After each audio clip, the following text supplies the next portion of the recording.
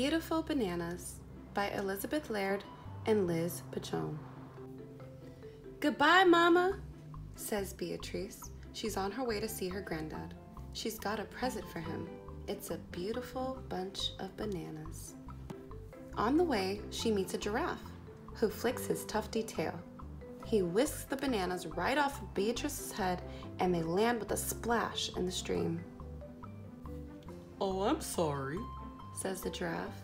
He picks some flowers and bends down low and gives the bunch to Beatrice.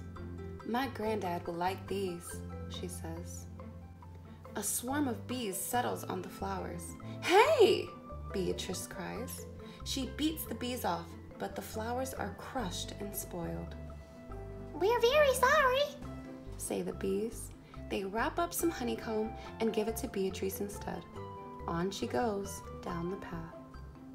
Some naughty monkeys see the honeycomb. We like honey, they cry.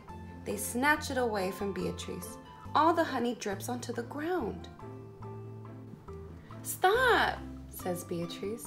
That honey was from my granddad. Oh dear, say the monkeys.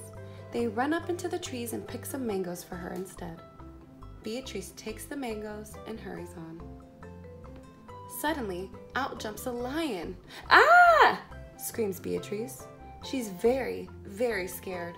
She drops the mangoes and they all roll away. It's all right, says the lion. I didn't mean to frighten you. He pulls out one of his whiskers and gives it to her. Beatrice runs on holding the whisker in her hand. A parrot sees the whisker. He thinks it's a twig. He swoops down and carries it off to build his nest. Come back, shouts Beatrice. That whisker's from my granddad. My mistake, squawks the parrot. He pulls a long feather out of his tail and gives it to Beatrice. On she goes again. But what's that long gray thing dangling down beside the path? Beatrice doesn't see it. Accidentally, she brushes it with her feather. You're tickling me, gasps the elephant. Achoo! His sneeze blows the feather away. The elephant is sorry. He stretches out his trunk and picks a bunch of bananas. Beatrice claps her hands. Oh, thank you, she says. Bananas are best after all. Here at last is Granddad's house, and here at last is Granddad.